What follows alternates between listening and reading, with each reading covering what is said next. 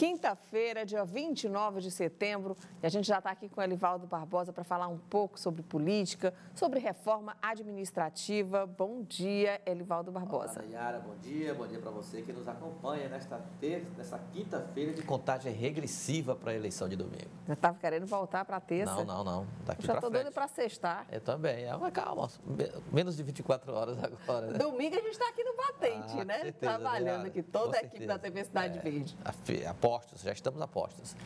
Elivaldo, vamos falar um pouco de reforma administrativa. Essa é uma pauta que parece que nunca sai de pauta. É verdade.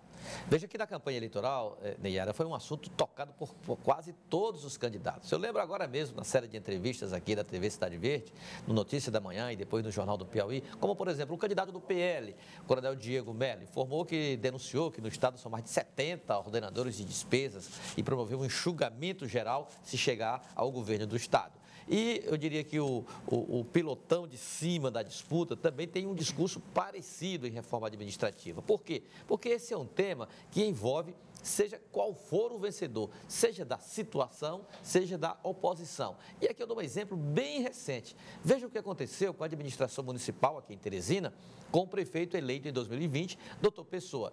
Logo que assumiu, logo no, nos primeiros meses, encaminhou para a Câmara Municipal um projeto de reforma administrativa.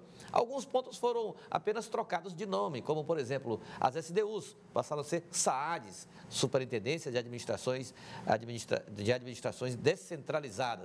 E, além disso, criou a Secretaria de, de Defesa Civil, a da Segurança Comunitária e extinguiu algumas pastas, como a de concessões e parcerias. Então, da mesma forma, ocorrerá a partir de fevereiro do ano que vem, seja qual for o vencedor, seja no caso, considerando as principais coligações, Rafael Fonteles ou Silvio Mendes, Silvio Mendes ou Rafael Fonteles, a ordem aqui não quis dizer absolutamente nada, é, qualquer um dos dois, oposição ou situação, considerando as pesquisas que estão, são os que têm mais possibilidade de chegar ao Palácio de Karnak, eles têm esse discurso de promover essas mudanças.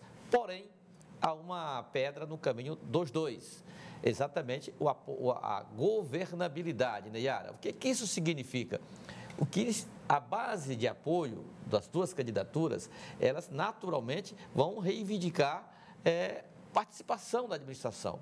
Então, isso é um fator que limita um pouco o discurso de promover ajustes na administração municipal. A situação aponta para um ajuste menor, afinal de contas, é oriunda do modelo que está em vigor. Já a situação fala também em mudanças, mas com vai ser preciso formar uma base de apoio na Assembleia, que naturalmente, e de forma muito legítima até, vai reivindicar espaços na máquina administrativa. Então, promover mudanças profundas, eu não acredito muito, a não ser algumas adaptações feitas para o perfil do gestor, seja da situação, seja da oposição. Mas essa será a matéria que entrará em pauta na Assembleia Legislativa na nova legislatura a partir de fevereiro de 2023. Né, Yara? Eu não tenho a menor dúvida disso.